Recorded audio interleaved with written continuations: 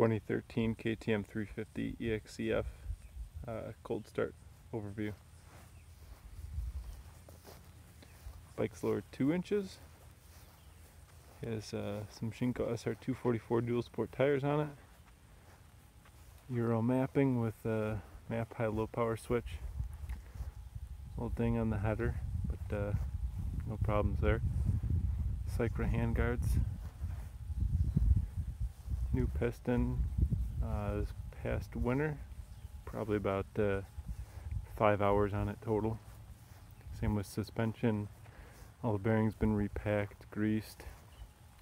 Everything's all good to go. MSR mirror here.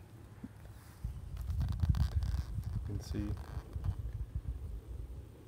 all the switches are gone. It's just uh, pretty pared down, 6600 on the odometer.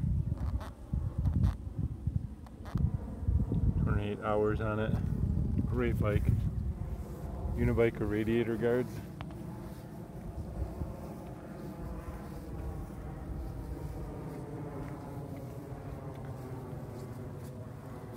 Basically stock otherwise and just runs like a champ.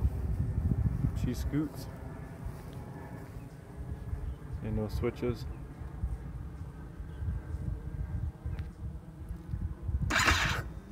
Fuel pump kick on.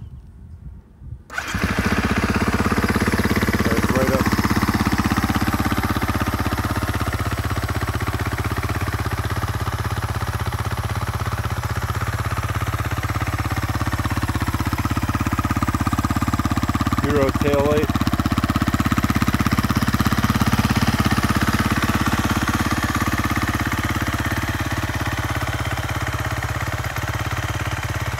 The headlights just on with normal running.